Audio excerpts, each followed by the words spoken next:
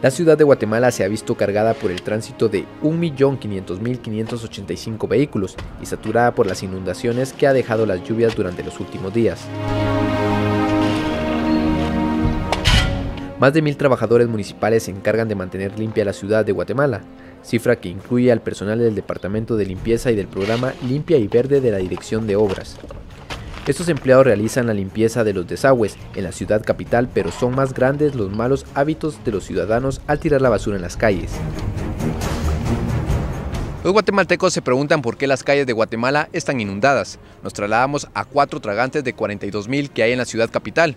Pudimos encontrar esqueletos de animales, partes de vehículos, zapatos, CDs, pelotas e incluso documentos de identificación también tarjetas de bancos nacionales, asimismo billeteras y electrodomésticos.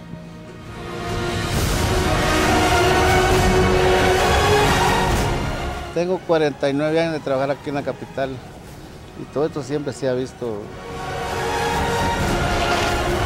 Los empleados municipales se tardan alrededor de 20 minutos para destapar un desagüe, dependiendo de la cantidad de desperdicios que encuentren.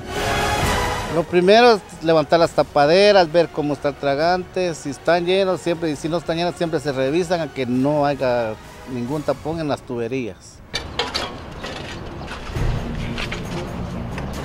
Luego la, la avolcanamos hacia un lado y le ponemos el camión a cargar y luego a tirarlo al basurero de la zona 3.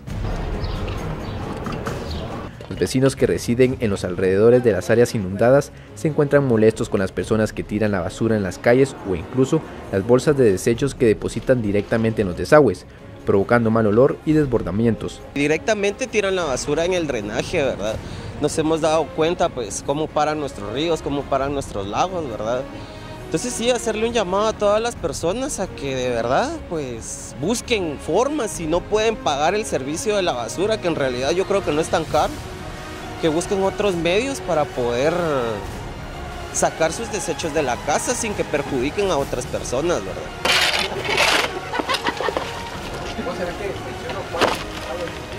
De la misma manera, los vecinos indican que las personas prefieren tirarla en las calles que pagar el servicio de basura.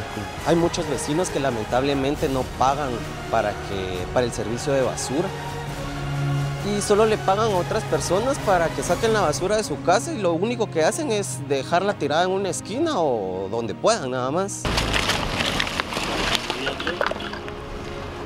Es evidente que si los vecinos de la capital siguen manteniendo este mal hábito, las calles de Guatemala seguirán teniendo el problema de las inundaciones. La limpieza que se hace a diario en distintos tragantes no se da abasto en comparación a las malas prácticas de los ciudadanos.